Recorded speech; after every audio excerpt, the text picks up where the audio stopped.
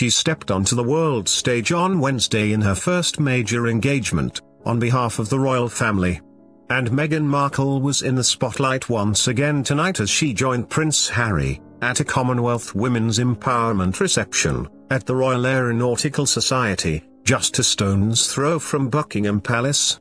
The royal bride-to-be opted for a £266 Jackie O dress from Black Halo, inspired by the iconic First Lady, which she teamed with a pair of £895, 18 kilotons white gold and diamond earrings from Canadian jeweler Birks, no doubt a nod to the country she called home, for seven years while filming legal drama Suits. Meghan, who will tie the knot with Harry next month, looked effortlessly chic in the fitted LBD, which featured an asymmetrical neckline, and was cinched at the waist with a leather belt. According to Black Halo's Los Angeles-based founder Laurel Berman, the Jackie O dress is a modern classic designed to make women feel 2 inches taller, and 5 pounds thinner. The royal bride-to-be, a passionate advocate of women's rights, and self-proclaimed feminist, kept her makeup to a minimum, adding just a hint of bronzer and a pink lip, and styled her hair in her signature messy bun. The couple mingled and chatted with guests at the Women's Empowerment reception, which was hosted by Foreign Secretary Boris Johnson, as part of this week's Commonwealth Heads of Government meeting. Harry and Meghan, who are due to tie the knot next month, will meet representatives from charities and organizations working to promote global gender equality through girls' education, a cause close to Meghan's heart. Organizations include the Malala Fund, Plan International, the Varkey Foundation, and Code Camp. Earlier on Thursday afternoon, Harry was joined by his brother the Duke of Cambridge for the Commonwealth Heads of Government meeting, formal opening event at Buckingham Palace, and the brothers will return to the royal residence once again tonight, for a glittering state banquet. Tonight's event comes days, after the newly appointed Commonwealth Youth Ambassador paved the way for his fiancée's emerging role, saying she is hugely excited about joining him in his royal duties. Experts have noted it is unusual for someone who has not yet married into the royal family, to be involved in a high-profile occasion such as, the Commonwealth Heads of Government meeting summit this week. But the Queen, who is head of the Commonwealth, has made clear she sees Harry and his future bride, as linchpins of her work with the so-called family of nations. Meghan, who has given up her acting career to devote herself to being a full-time royal, has no previous links to the Commonwealth, but has worked with the UN as a women's advocate for political participation and leadership and undertaken several humanitarian missions. While speaking to guests tonight, the couple praised the work of young activists campaigning to improve the education rights of girls around the world.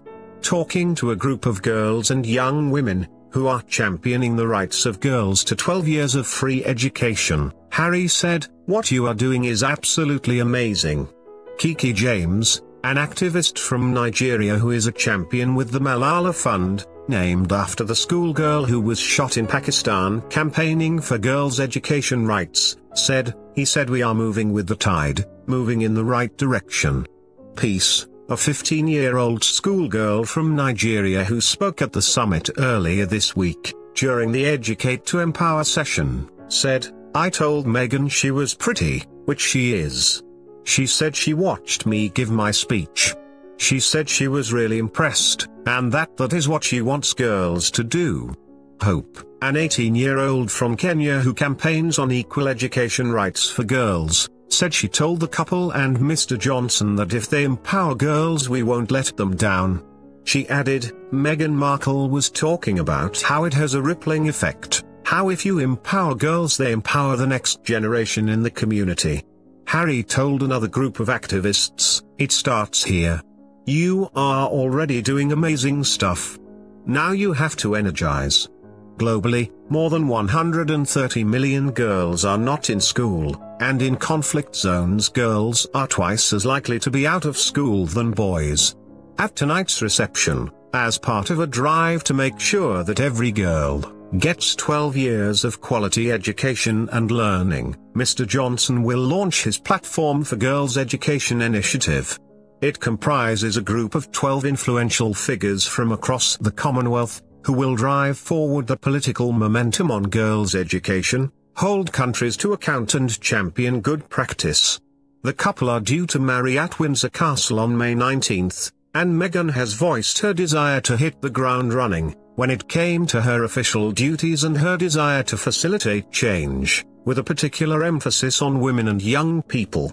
She and Harry will work both in the UK and abroad to highlight the value of the Commonwealth, and are understood to be planning a number of foreign tours to member states. Last week the Prince was also announced as president of a new Queen's Commonwealth Trust, a youth charity of which the monarch is patron, which will provide a platform for young changemakers across the Commonwealth in the areas of education, sport, health and the environment. CHOGM is a summit of the leaders of all 53 Commonwealth nations, held in a different member state every two years, where issues and policies of common importance are thrashed out. This year's event is particularly significant as it is expected to be the last time the Queen will ever attend.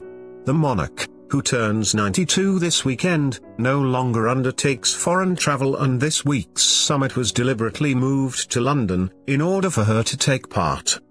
The Commonwealth will take on an increasingly important role as regards trade and diplomacy when Britain exits the EU.